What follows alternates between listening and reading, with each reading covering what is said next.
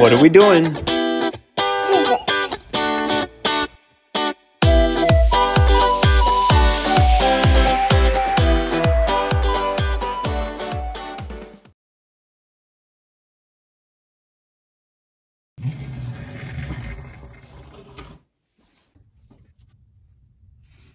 All right, let's start with the truck. This truck is driving down the road at a constant 25 meters per second.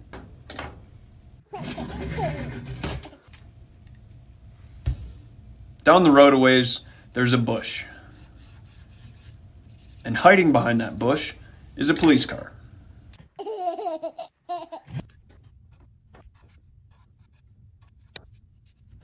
Now, the police car sees the truck coming down the road, and the truck is going too fast. It's speeding. So, as soon as the truck passes the bush, the police car turns on its lights and pulls out onto the road, accelerating from rest at 5 meters per second squared.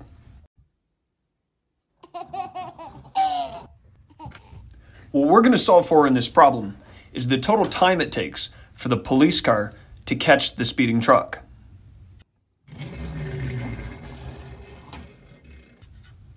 To do this, we're going to look at the motion of the speeding truck.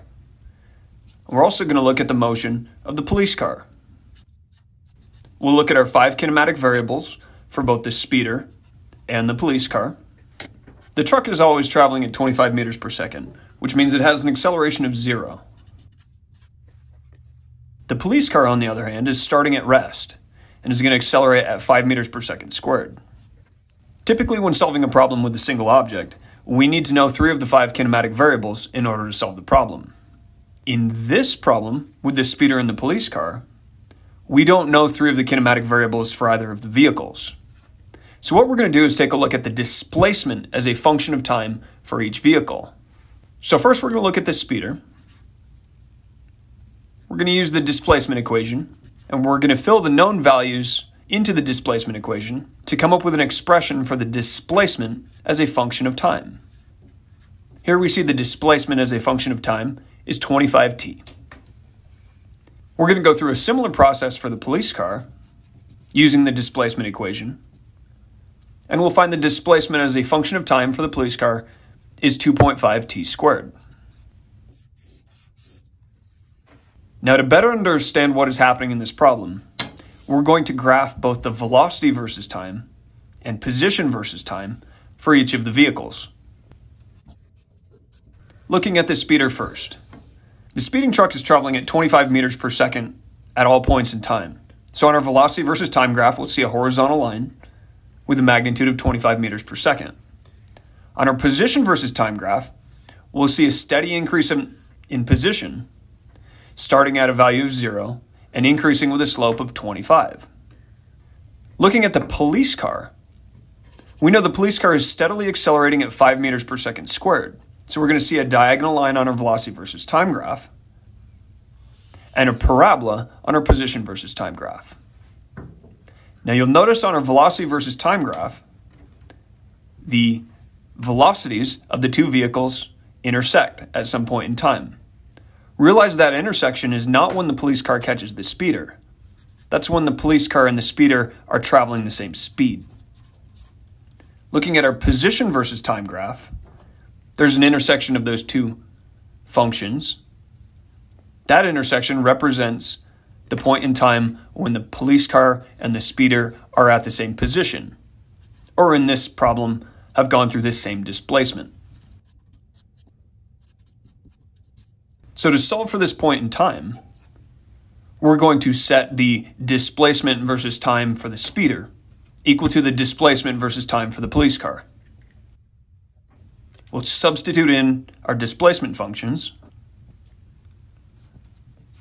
then do a little bit of algebra, and we'll find it's going to take the police car 10 seconds to catch the speeder.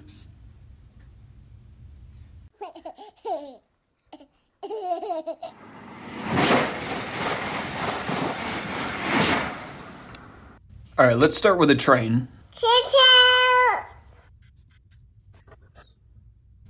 And that train is 100 meters long. The train is traveling forward at 10 meters per second. Choo-choo! Driving down the road alongside the train is a truck. The truck is traveling forward at 30 meters per second.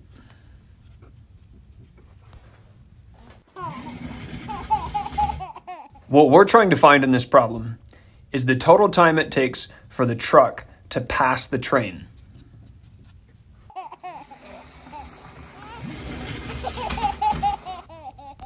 In order to solve this problem, we're going to need to look at both the motion of the truck and the motion of the train.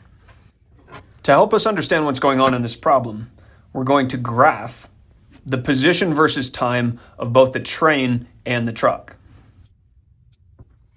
Starting with the truck, we're going to lay out all five kinematic variables. Because the truck is starting at a different position than the train, we're not as concerned with displacement of both objects in this problem as we are with the position of both the truck and the train. So rather than looking at displacement for the truck, we're going to look at both the initial and final positions of the truck. Because the truck is traveling down the road at a constant velocity, that means the acceleration is zero. And therefore, the initial and the final velocity are both always going to be 30 meters per second.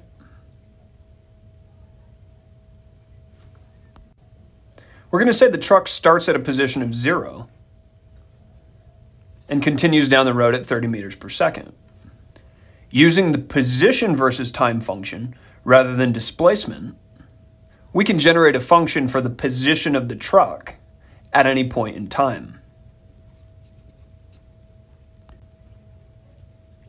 That function is given by 30t. If we graph that function, 30t, on our position versus time graph, we'll see a diagonal line with a slope of 30. Moving on to the train, we're again going to set up our five kinematic variables. But again, we're not going to want to look at the displacement of the train as much as we're going to want to look at the position of the train. We're going to use the same position versus time function for the train. Just like the truck, the train is not accelerating. So the train will always be traveling at 10 meters per second with an acceleration of zero. Because the train is 100 meters long, the front edge of the train is going to start at an initial position of 100 meters. Plugging these values into our position function gives us a position versus time of 100 plus 10t. Now that we have the position versus time function for the train, we can plot that function 100 plus 10t on our position versus time graph. Note that the position of the train is initially 100 meters ahead of the truck. Now the two lines cross at a point, and where those two lines cross, that represents when the front edge of the truck has caught the front edge of the train.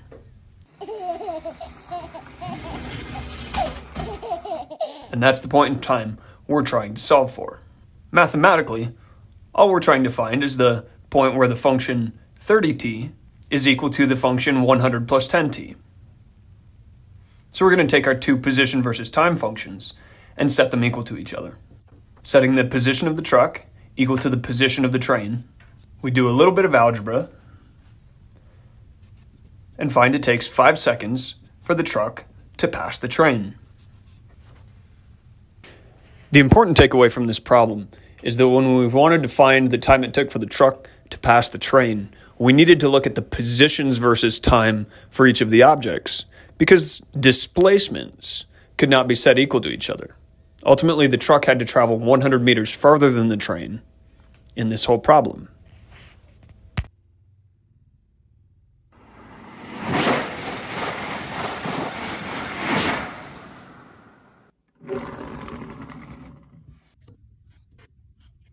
Okay, we're going to start with two cars driving down the road, side by side.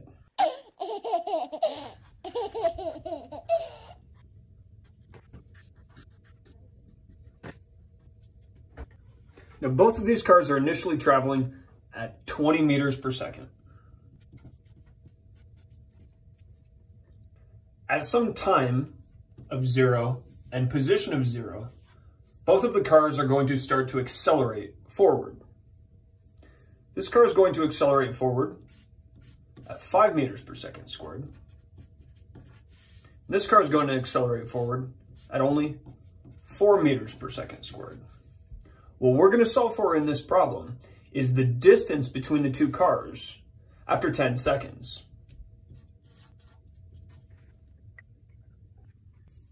It's easy enough to see that this red car is going to accelerate at a greater rate, and therefore it's going to travel farther down the road in these 10 seconds than this blue car, which is only accelerating at 4 meters per second squared. But what we're going to do is use the displacement equation to look at how far each car is going to travel down the road in these 10 seconds. So first let's look at the displacement of this red car.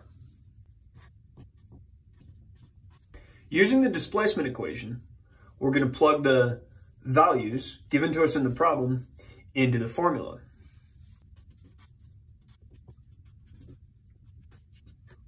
We find the red car is going to travel 450 meters down the road in 10 seconds. For the blue car, we'll use the same displacement equation and plug the values for the blue car into our function. We find the blue car travels 400 meters down the road. The distance between the two cars after 10 seconds is simply the difference in these displacements.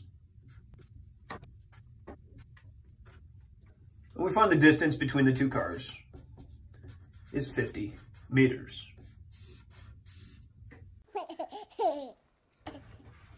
Of course, as always, to help us understand what's going on in this problem, let's graph the motion of the cars.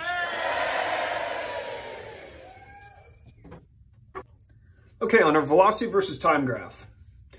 Looking at the blue car first, it starts with a velocity of 20 meters per second and speeds up for 10 seconds at 4 meters per second squared. So we'll see a steady increase in velocity up to a velocity of 60 meters per second. The red car is going to start at the same initial velocity. However, it's going to accelerate at a greater rate. The slope of this line is steeper because the acceleration of this car is greater. On our position versus time graphs, we'll see our blue car start with an initial velocity of 20 meters per second and accelerate forward, which on a position versus time graph looks like a parabola. You'll notice the slope here is not initially zero because the car was initially moving. For our red car, we'll see it's going to also start at the same initial velocity, but move farther forward.